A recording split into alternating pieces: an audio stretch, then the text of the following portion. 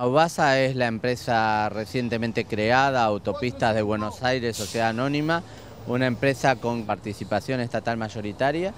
que tiene como objetivo eh, hacerse cargo de la concesión. Y en este plano nosotros estamos buscando hacer un trabajo integral de seguridad, de seguridad vial, de recuperación de la traza, eh, de ampliación de la traza con el tercer carril, de mejorar las condiciones de trabajo de todos los empleados y de brindarle mejores condiciones a todos los usuarios de transitabilidad y de seguridad. Por eso hoy estamos encarando una primera acción de control de carga. Hemos detectado sobre 11 vehículos que, que se ha tomado una muestra, cuatro vehículos en falta, es decir, con exceso de cargas, ocasionando en principio la rotura eh, del pavimento, pero además de eso el riesgo de vida, porque los vehículos están preparados para tener una determinada carga y cuando se viaja con carga excesiva, el riesgo es que la capacidad de frenado, de maniobra